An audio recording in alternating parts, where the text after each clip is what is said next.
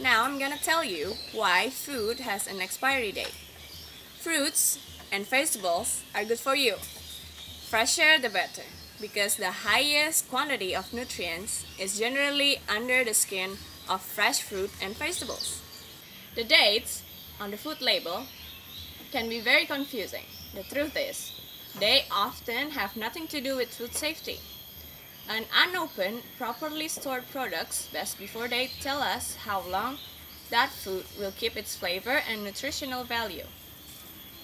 Even though some food remains edible, just less tasty and nutritionally dense, after its best before date, that doesn't mean all food is safe to eat when that date passes. Generally, if the food changes color, appearances, or develops a bad smell, it is no longer safe to eat. Best before dates are found on foods that will only stay fresh for 90 days or less. Some foods may be consumed even if their best before date has passed, unlike an expiry date.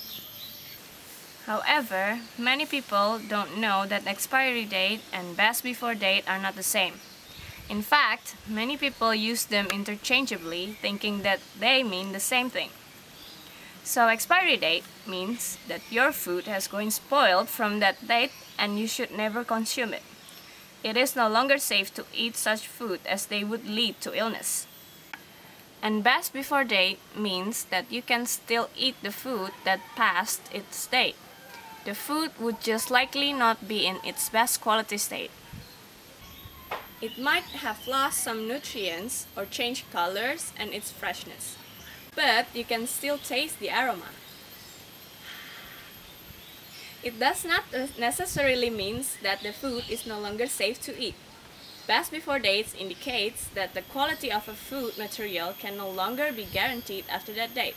So it is basically food's quality indicator. Now that you guys know the differences between expiration date and best before dates, you can try to indicate them at home. Want to know what you can do with the expired fruits and vegetables? Get creative and try out the natural dice activity.